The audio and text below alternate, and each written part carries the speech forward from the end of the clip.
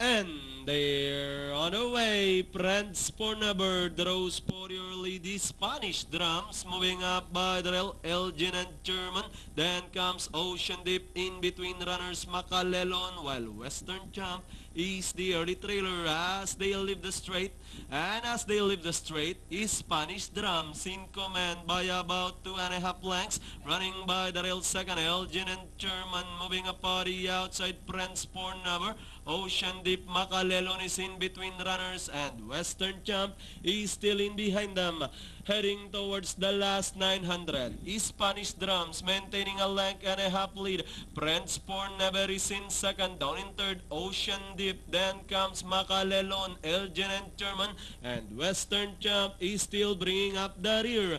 Past the last 800 is Spanish Drums. This time back to two lengths lead. Running in second Friends for Never Ocean Deep, Macalelon remains in port, Elgin and German closing in by the rail, and Western Champ is still running at the tail of the field.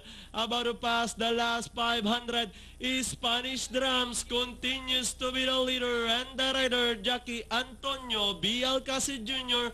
with the looks good in front, handling Spanish Drums, maintaining a length lead, Friends for Never is outside Ocean Deep, Elgin and German Macalelon with the last 150 more to run. Friends for never now moves up to grab the lead.